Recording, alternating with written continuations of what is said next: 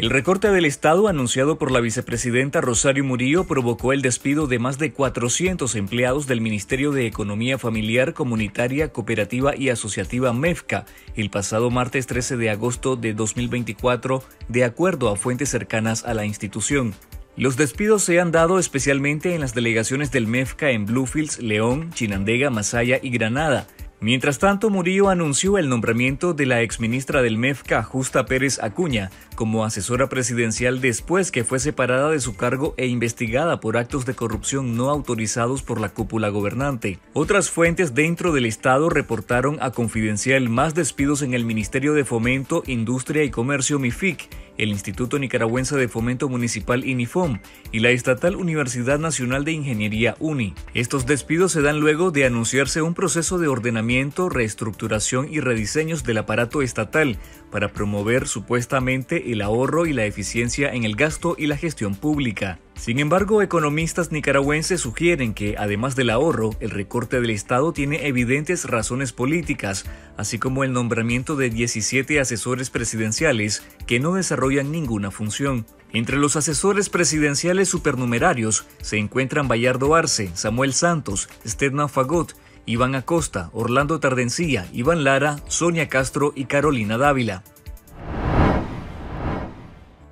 Esta semana se conoció la destitución del general de brigada Rigoberto Valladares Sandoval, el primer alto militar removido de su cargo por la intervención directa de Rosario Murillo. Valladares era el jefe de la Dirección de Información para la Defensa DID, mejor conocida como el órgano de inteligencia política del Ejército de Nicaragua. Dos fuentes vinculadas al ejército confirmaron a Confidencial que la orden de Murillo fue transmitida a las Fuerzas Armadas a través del jefe del ejército Julio César Avilés. A Valladares le dictaron en junio una suspensión temporal y una investigación, y un mes después, en julio de 2024, fue separado del cargo de forma definitiva.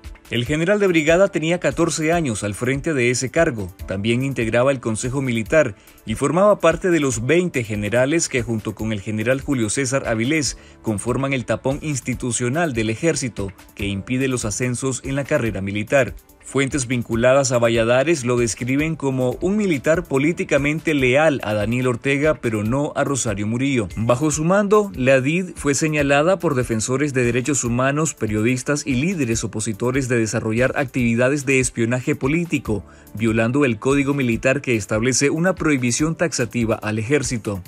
Durante la rebelión cívica de 2018 en Nicaragua, especialmente en los meses de abril a septiembre, la DID se convirtió en el principal órgano de información, inteligencia y espionaje político sobre los líderes de la protesta cívica en los territorios, al servicio de la estrategia represiva de Ortega y Murillo y la Operación Limpieza, que ejecutaron fuerzas policiales y paramilitares.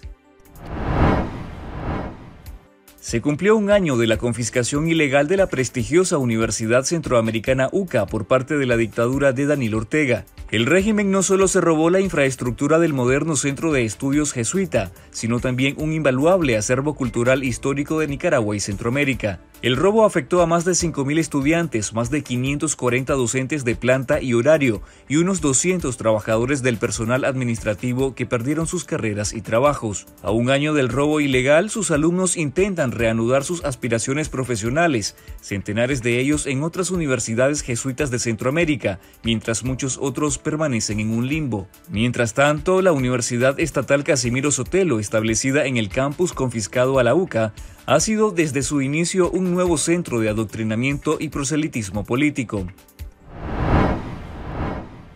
La policía del régimen sandinista continúa su campaña de secuestros y hostigamientos contra sacerdotes y laicos católicos en el norte del país. La dictadura mantiene bajo detención arbitraria a los curas Denis Martínez García de la diócesis de Matagalpa y Leonel Balmaceda de la Trinidad Estelí y las ciudadanas Carmen Sáenz y Lesbia Gutiérrez de Matagalpa. Sus secuestros se dieron apenas unos días después que el régimen desterrara hacia el Vaticano a otros siete sacerdotes, seis de ellos de la diócesis de Matagalpa. El más reciente informe en Nicaragua, una iglesia perseguida de la investigadora Marta Patricia Molina, revela que en esta sede diocesana solo han quedado 13 de los 71 sacerdotes que cumplían su misión pastoral en el departamento norteño. Los 13 sacerdotes han tenido que apoyarse en otros nueve religiosos de otras diócesis para atender la sede episcopal de la cual es rector el obispo Rolando Álvarez, desterrado hacia el Vaticano en enero pasado.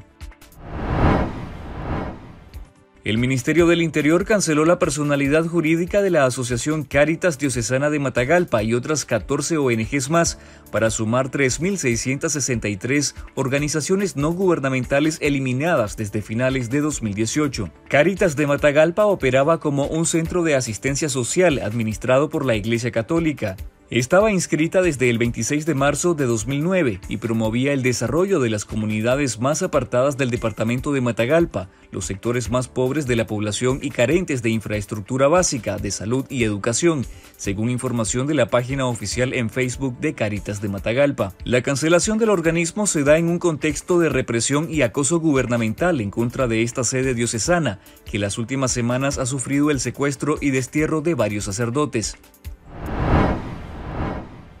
El gobierno sandinista otorgó la primera concesión minera a cielo abierto a una empresa china en el departamento de Estelí. El Ministerio de Energía y Minas concedió a la compañía Nicaragua Shinchin Linsen Minera Group SA un lote de 3.628.71 hectáreas en el municipio de San Juan de Limay para el aprovechamiento de minerales metálicos y no metálicos en el lote denominado Río Dorado. Nicaragua Shinchin Linsen es la minera china que lleva menos tiempo operando en Nicaragua. Sin embargo, desde febrero de 2024 ha recibido casi 43.000 hectáreas para la exploración y explotación minera. Con esta autorización a Nicaragua Shinchin Linsen se suman 15 concesiones mineras que totalizan 234.496.31 hectáreas, otorgadas a tres empresas chinas entre octubre de 2023 y agosto de 2024, según datos oficiales analizados por Confidencial.